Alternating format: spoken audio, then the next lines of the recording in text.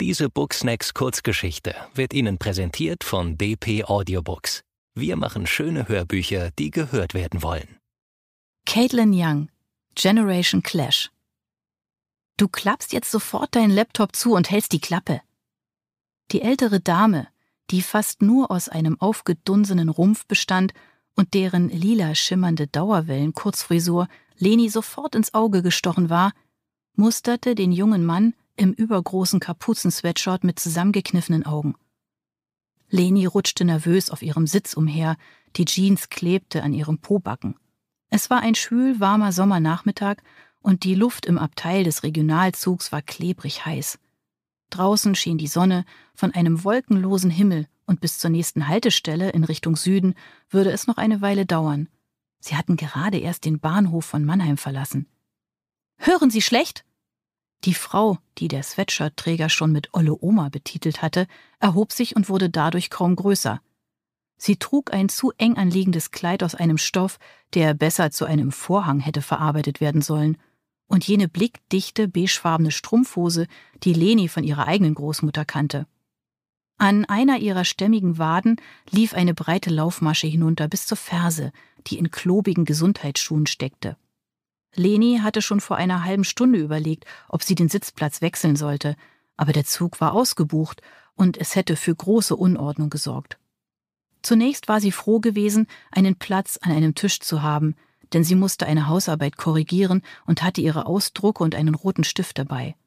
Aber dann kam es zu den Spannungen zwischen der älteren Dame, die Leni schräg gegenüber saß, und dem legeren, zugegeben gut aussehenden Typen an dem Tisch auf der anderen Seite des Ganges. An der gegenüberliegenden Seite des Tisches, ebenfalls am Fenster, saß ein Mann, der so blass war, als habe seit Monaten kein Sonnenlicht seine Haut berührt. Er trug einen sonderbar eckig rasierten Bart und eine blau umrandete Brille und las ein Magazin, ohne jemals den Blick zu heben. Zu Lenis Rechten saß eine Kaugummi kauende junge Frau, vielleicht ebenfalls eine Studentin. Sie roch nach einem unangenehmen Gemisch aus Vanilleparfum und kaltem Rauch und drückte zackig auf ihrem Handy herum, während kabellose Neonkopfhörer in ihren Ohren steckten. Der Typ mit dem Kapuzenpullover stieg wie Leni und die Kaugummifrau in Mainz zu, die anderen hatten schon an ihren Plätzen gesessen. Es war das übliche Gepäckstücke durch viel zu enge Gänge drücken gewesen und Leni war froh, dass sie nur einen Rucksack dabei hatte, den sie unter ihren Sitz stopfte. Sie erfasste mit einem geübten Blick die Lage an dem Tisch, an dem sie bald sitzen würde, um für das Wochenende zu ihren Eltern nach Stuttgart zu fahren. Dort saßen der Bleiche, der so sehr in seine Lektüre vertieft zu sein schien, dass er ein angenehmer Weggefährte werden würde, und die ältere Dame, die zu dem Zeitpunkt noch damit beschäftigt war, ihre Nase in ein dickes Heft voller Sudoku-Rätsel zu stecken. Auf ihrer kantigen Nasenspitze saß eine Brille, deren Bändel aus bunten Perlen bestanden, und sie hob den Blick und lächelte, als Leni am Fenster Platz nahm.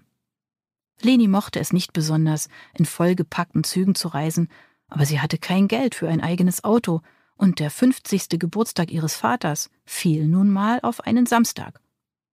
Leni besuchte ihre Eltern in der Regel alle zwei Monate, vorzugsweise von Samstagmittag bis Sonntagabend.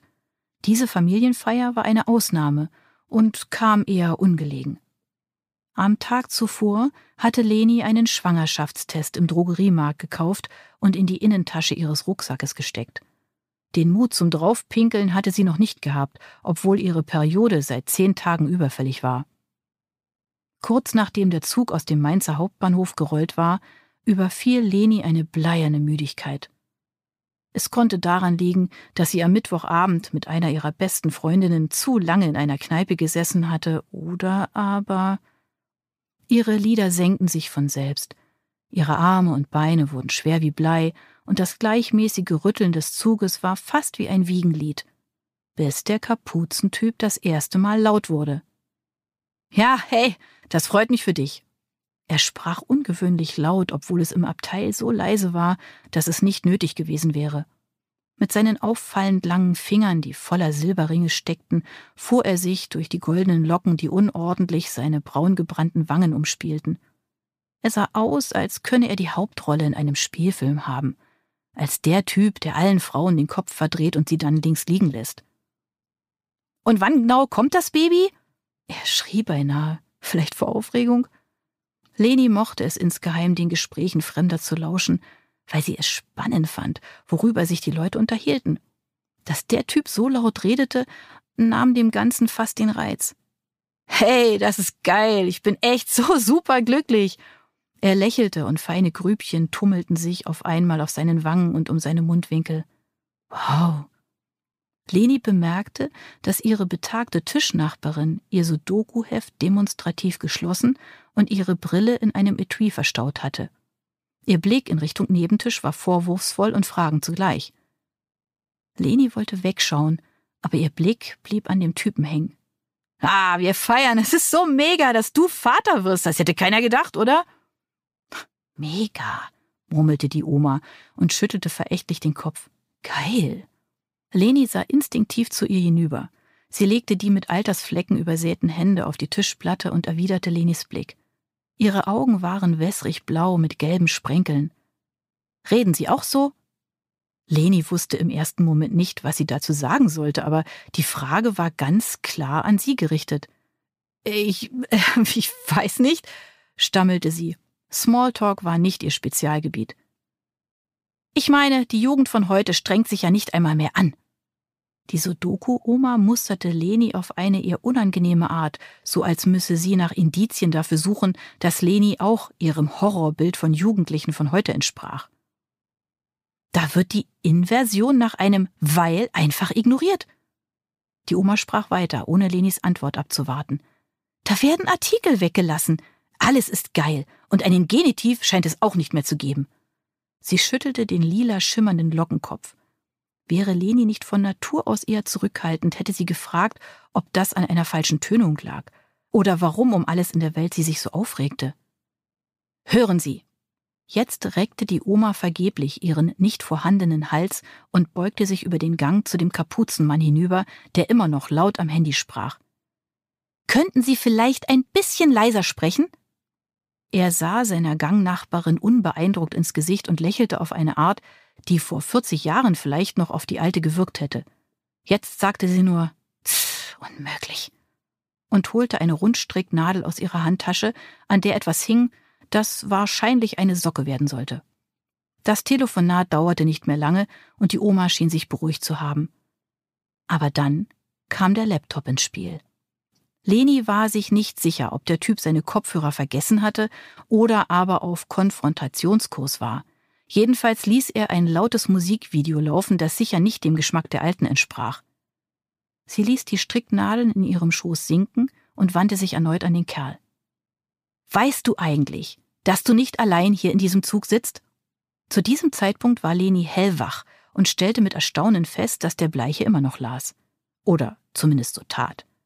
Überhören konnte man weder den Kapuzentypen noch die Oma. Was ist los mit dir, olle Oma? Der Kapuzenmann ließ das Video weiterlaufen, während er die Augen zusammenkniff. Willst du Zoff? Ich möchte nur zum Ausdruck bringen, dass ich mich gestört fühle. Ist mir egal, er blickte wieder auf seinen Laptop und holte einen türkisfarbenen Kaugummi aus der Hosentasche, den er mit ausladenden Kieferbewegungen zu zermalmen begann. Dieses Kaugummi-Kauen, das ist auch so eine Krankheit der heutigen Jugend. Die Oma verstaute ihr Strickzeug wieder in ihrer Tasche und verschränkte die Arme vor der Brust. Ihr Gesicht hatte eine zu dunkle Farbe angenommen, und an ihrer Schläfe erschien eine Ader, die sich wie ein Regenwurm durch ihre pergamentartige Haut presste. Könnt ihr mal ruhig sein, ich versuche zu schlafen, sagte auf einmal die Frau neben Leni. Sie hatte sich ein rotes Stück Stoff mit weißen Herzchen über die Augen gelegt und machte den Eindruck, als wolle sie tatsächlich ein Schläfchen halten. Ich bin erst ruhig, wenn der da ruhig ist. Die Oma ließ ihre Fäuste auf die Tischplatte fallen. Lenis suchender Blick blieb an dem blassen Lesenden hängen, dann an der Kaugummi kauenden neben ihr, anschließend an der Frau, die neben dem lauten Typen saß suchte nach Hilfe, aber keiner schien sich wirklich für die Szene zu interessieren, außer sie selbst. Oh Mann. Lenis Nebensitzerin drehte ihren Oberkörper schräg und umarmte sich selbst.